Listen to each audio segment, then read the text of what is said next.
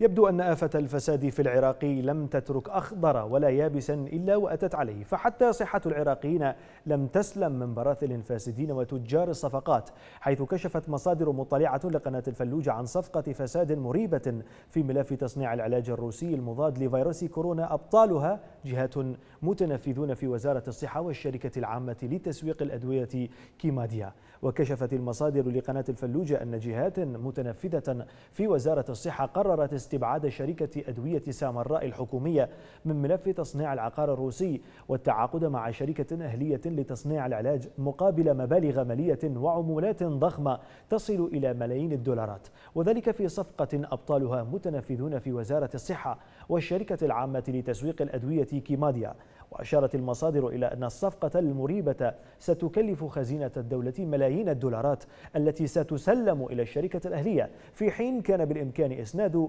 حق التصنيع إلى شركة أدوية سامراء الحكومية وتجنب خزينة العراق مبالغ طائلة في ظل الأزمة المالية الراهنة.